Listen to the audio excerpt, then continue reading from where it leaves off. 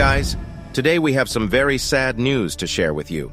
Chris Smith, a former NFL defensive end, has passed away at the young age of 31. The details surrounding his death are currently unknown. Chris was playing in the XFL this season after spending eight years in the NFL with several different teams, including the Browns, Jaguars, Bengals, Panthers, Raiders, Ravens, and Texans. He had a total of 80 tackles, 11 sacks, and four forced fumbles during his professional career.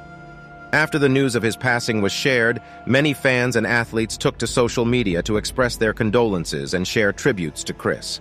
One of Chris's former teammates, Shaq Lawson, tweeted his prayers for Chris's family, and Cleveland Browns star David Njoku spoke about how heartbreaking it was to lose a hometown hero with such a kind soul.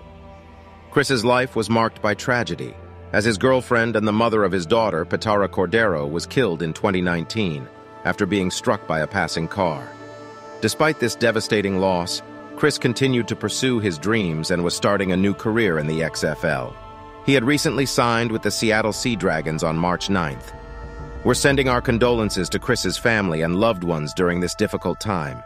Rest in peace, Chris. You will be missed.